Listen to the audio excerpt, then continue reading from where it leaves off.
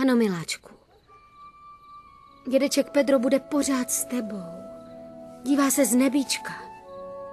Ale teď byl tady. Já jsem ho viděl. Miláčku, tvůj dědeček byl hodně moc nemocný. Hodně moc. A není tady, protože je v nebíčku. Rozumíš? Ne, maminečko. On není v nebíčku. Je tady. Fricholito, neukazuj na mě. Tvoje maminka mě nemůže vidět.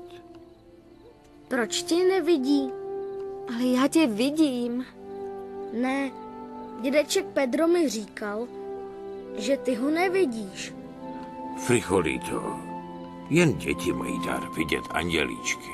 Aha, Miláčku, pamatuješ, jak Huesito odešel do psího nebíčka? ano.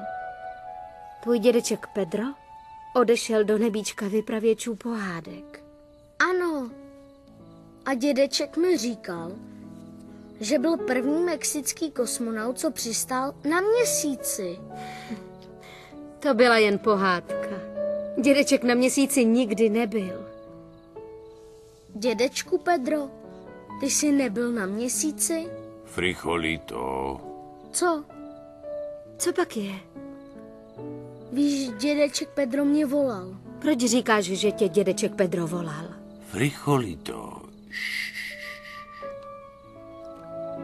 Promiň, maminečko, ale dědeček Pedro mi říká, že nesmím prozradit, že je tady.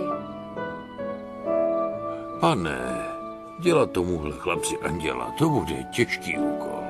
Fricholito, prosím tě, neříkej před babičkou, že vidíš dědečka Pedra. A proč ne? Já jsem tvoje máma a musíš dělat, co ti říkám. A někdy bez dotazů. A proč se tě nemůžu ptát? Řekni mi proč. Protože jsem smutná. Umřel tvůj dědeček. Můj dědeček je anděl a bude mě ochraňovat, mě a Toňa. Ano, zlato. Tvůj dědeček je anděl, protože byl moc hodný. A z dobrých lidí se stávají andělé. Dědečku Pedro, a můžeš zahrát na trubku? Ano.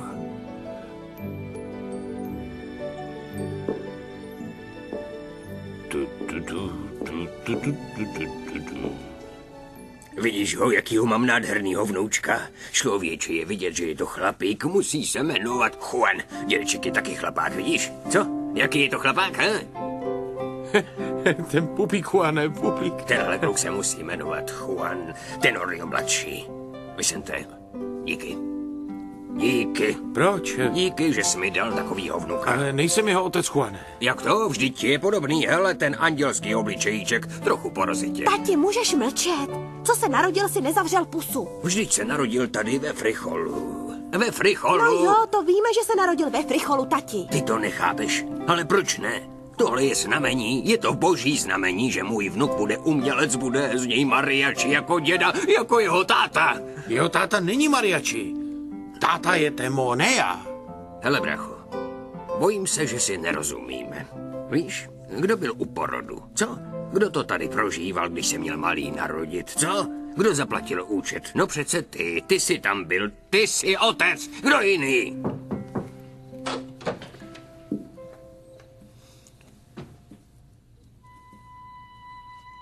Jak se mu daří?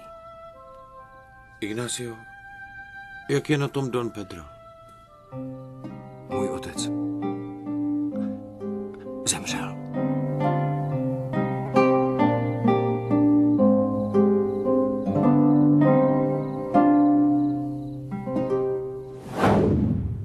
Juanito, ty už jsi jako moje žena. Bez výčitek, Juane, bez výčitek. Ale Pedro, když vy na všechno kašlete, nešetříte se a vy se musíte šetřit. Ale ne, Pedro. Co mi to děláte? Proč mi to děláte? Co vás to napadá umřít dnes, když se mi narodil vnuk?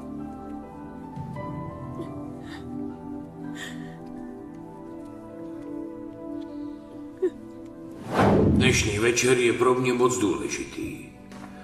Dnes večer jsem se svými dětmi, se svými vnoučátky, se ženou, kterou miluju. Jsem muž, co udělal v životě spoustu chyb a hloupostí, ale něco dobrého jsem udělat musel, protože Bůh mě odměnil jednou nádhernou věcí a tou je vaše láska.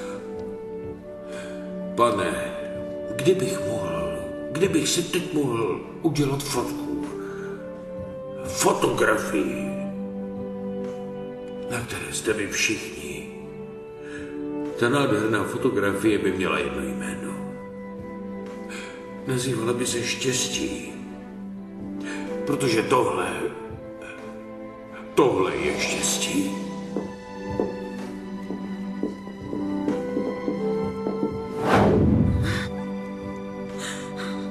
Petro, Petro, proč jsi mě nechal samotnou? Proč? Nejsi sama, Evangelino. Já tě neopustím. Láska vítězí nad smrtí. Ano. Láska vítězí nad smrtí. Ty mě také slyšíš. Byl jsi tak tvrdohlavý. Proč? Proč se víc nešetřil, Pedro?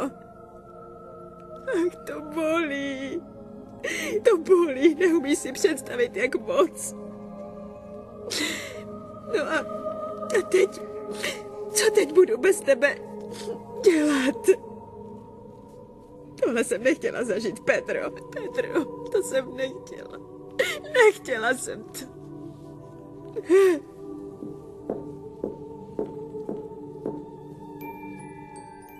Mami, Holčičko. Nevíš, jak moc to bolí. musíš odpočívat, mami. Ano, lásko holka. Běž si odpočinout. Dej si heřmánkový čaj. Ano, lásko holka. Běž si odpočinout. Dej si heřmánkový čaj. Flicholito. Babičce říkej babičko, ne holka, rozumíš? Ne, zlato, počkej. Co jsi to říkal?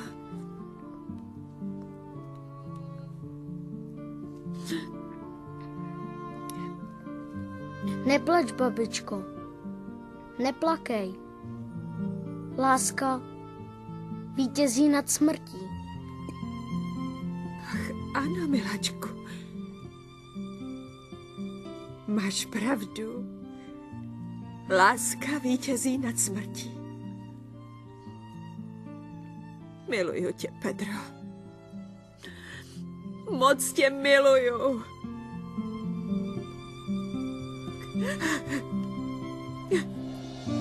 Neplakej, babičko. Nepláč.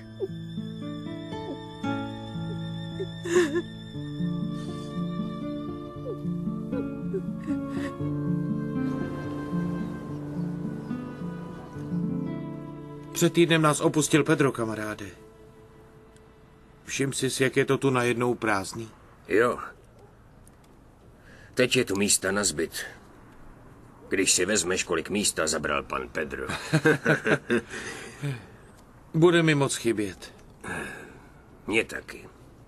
A co teprve, když budeme muset spravovat tenhle pajzlík? Margarita nás o to pěkně prosila. No jo, ale díky bohu, že nám paní Evangelína pomůže. Ano. Rosita má plno práce s malým, víš? Co? Žárlíš na mého vnuka. Žádlím. Proč bych žádlil? Že ho miluje víc než mě, protože nespím ani tři hodiny, že každé dvě hodiny mu měním pleny? Ah, počkat, počkat, slyšel jsem dobře, říkal si, každé dvě hodiny mu měním pleny, co? Ano, to je... Ty mu měníš pleny. Ano, a Rosita také.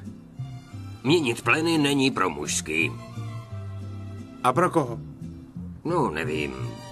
Pro citlivky, protože pleny vždycky mění máma.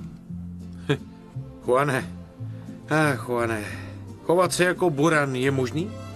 Když jde o Rositu a malého, tak jsem muž manžel a otec. A chlap? Jsem muž, manžel a táta. To je zklamání, kámo. Desiluze. Můj zeď a neví, co je to být chlap. Dokonce mění pleny s čistou radostí. To je zklamání. Tak, kámo, vidím, že tvoje chlapáctví je pryč.